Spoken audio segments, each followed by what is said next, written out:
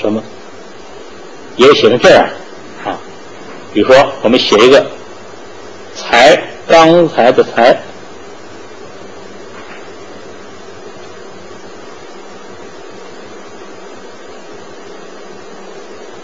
啊，在欧阳询里写“才”字不提钩啊，不提钩。一般楷书写“才”都不提钩啊，这是“才”。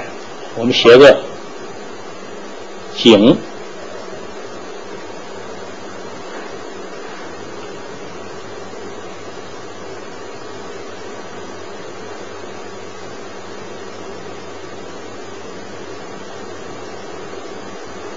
啊景，我们再写一个啊，这个王字啊，王字三横都应该是中横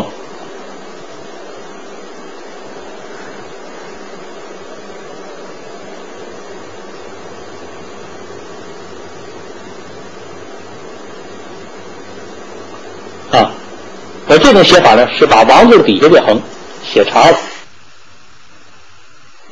下面呢，我们写一下小横啊，小横的写法。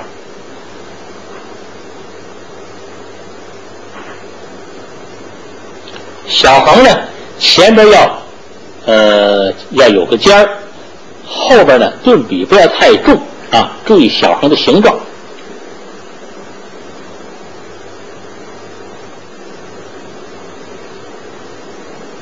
小横也是多种多样啊。我们还是从实用当中来分析一下啊，比如说我们写一个“盖”啊，锅盖的“盖”，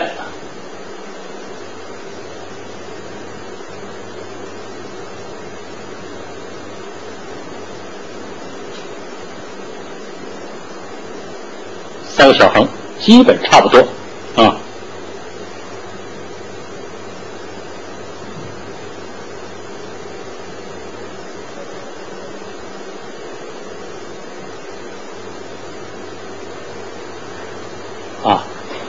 我们再写一个啊，比如啊，